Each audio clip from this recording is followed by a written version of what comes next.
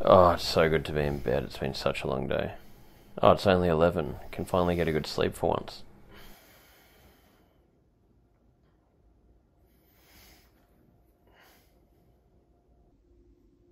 Maybe if I fall in love with anxiety, it will also leave me. I can't handle this right now. Just remember, me and the at my worst. I'm me at my worst. How are you doing?